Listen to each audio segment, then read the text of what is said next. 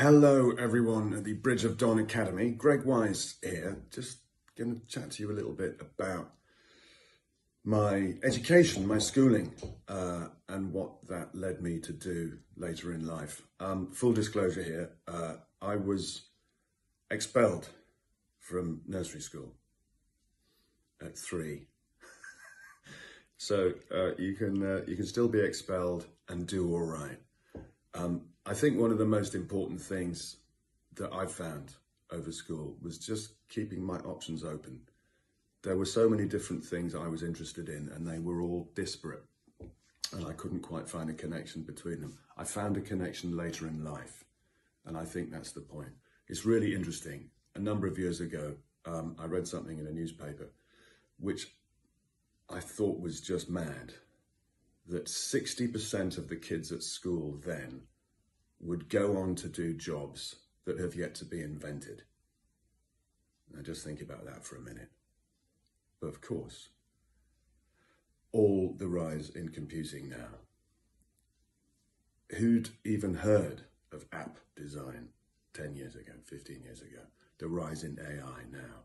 And that means that other things will be equally important that only humans can do. So I think the most important thing for all of you is to keep your options open, always.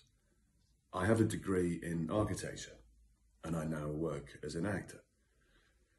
But I also use my architecture and I use my acting in, in writing. I write film scripts, I've written books, in just general life, it's really useful, really important to have lots of different things that you can you can grasp and pull from all these different avenues in your life. So just keep your options open. That's the thing. And if you have a dream, if you have a passion, pursue that. Don't ever let anyone tell you that it's nonsense. Keep going. I would suggest that having exams now is more important than it's ever been. So stay at school, do your exams. If you want, go on to university. If you don't want, go into work, go into apprenticeships. A lot more apprenticeships are happening now. I know that if I hadn't been in the work I do now, I think I would have ended up being a joiner or a carpenter. I, I work with wood a lot.